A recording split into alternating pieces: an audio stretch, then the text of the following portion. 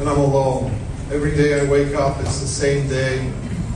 And I wait a minute or two to listen for the familiar sounds that I'm used to hearing, there's nothing. Our dog is missing, and my family has been taken.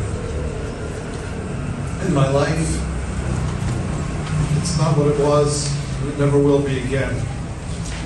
He was my best friend, he was my brother, he was my safe place.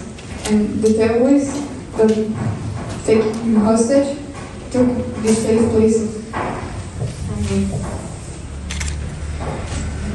I want to I want I want your help so I could have, hug him again and I could see him back home with my family.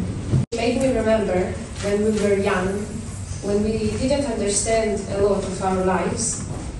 She always laughed and told that I will die before her because I'm the older sister and that she will live longer than I. And I am here talking about it because I really want to die before her. Or was injured, but we don't know the se- severity of the injury. And we are all waiting for him. His oldest ga- grand- grandson has a birthday tomorrow. He's going to be 11 years old. This is the first birthday that he's not going to be with us. Let it be the last one. We need to bring him home. We need to bring them all home now. Eynav was murdered and Or was kidnapped into Gaza.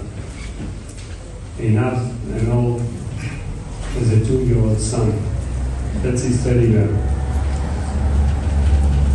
Since that day, he's looking for them, he's calling for them, he wants to go home.